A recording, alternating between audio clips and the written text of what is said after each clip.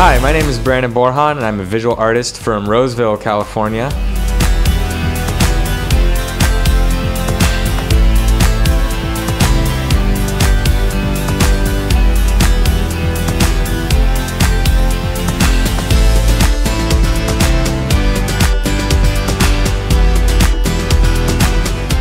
I first started painting uh, mostly in high school. I had this really great art teacher who really kind of showed me the ropes and showed me a lot of different techniques and how to paint. And um, I'd say I always had a passion for painting, but he was the one who really took that and, and allowed me to kind of run with it. And so ever since then, I've been trying to just show my work um, as frequently and often as I can and try and get a feel for the local art scenes.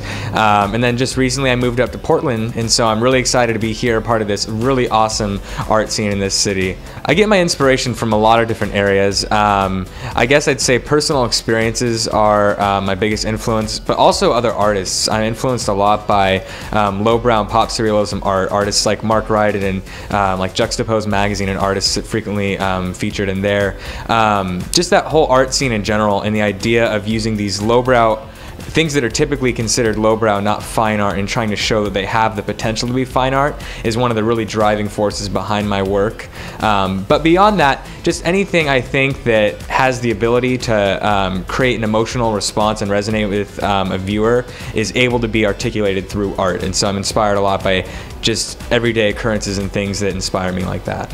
I really love RAW so much. I really feel that it's an awesome opportunity for underrepresented and independent artists like myself to be able to have that first opportunity to be able to network and get involved in their local art scene. So I think it's a really great service for, for new artists to be able to really get into their art scene. So if you're interested in finding more information about me, you can always just Google search Brandon Borjon. My website is the top hit.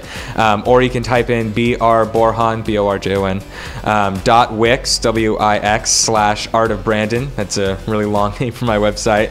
Um, and yeah, and that will have all of my portfolio, um, resume, contact information, etc. And that'll be how you can keep in touch with me and keep up to date on my uh, upcoming shows. Hi, my name is Brandon Borjon, and I am a raw artist.